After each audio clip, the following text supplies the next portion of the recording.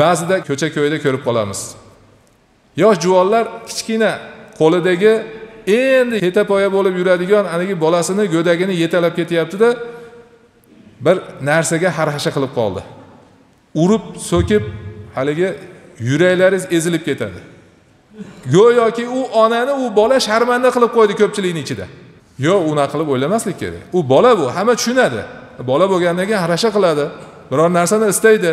Mumkin onasini shunga puli yetmas o'sha narsani olib bergani. Lekin mana shu narsadan qo'yingki nima sababdan bo'lsa ham bolasini endi ura boshlaydi ko'pchilikni ichida. Oddiy biz ko'zimiz bilan ko'rib turadigan holat. Bolasini shunaqa darajada haqorat qila boshlaydi. O'sha ona bilmaydiki hazrat payg'ambarimiz sollallohu alayhi vasallam aytdilar bolalaringizni hurmat qilinglar va odobini go'zal qilinglar dedilar. Inson o'zini bolasini hurmat qilish kerak bizni shariatimizda. Ikrimu avladakum. Hurmat qilishlik kerak.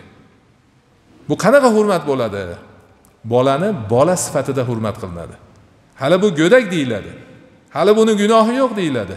Boladan biror bir ayb kamchilik yoki itoatsizlik o'tadigan bo'lsa o'zidan axtarishga tushadi inson.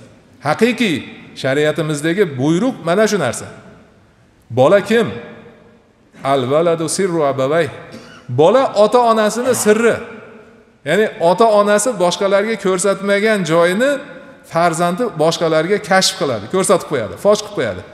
Shuning uchun agar inson o'zi e'tiqodi mustahkam ibodatida pishiq puxta bo'lsa boshqa insonlar xususan oilasida chiroyli munosabatda bo'ladigan bo'lsa o'zini ahliga oilasiga farzandlariga endi buni ko'rgan ayoli ham unga nisbatan shu bo'ladigan bo'lsa farzandlar ota onani bir birlariga ko'rsatayotgan mehr oqibatlarini ko'rib ulg'aysa farzandlarni qalbi qattiq bo'lmaydi qo'pol bo'lmaydi farzandlar.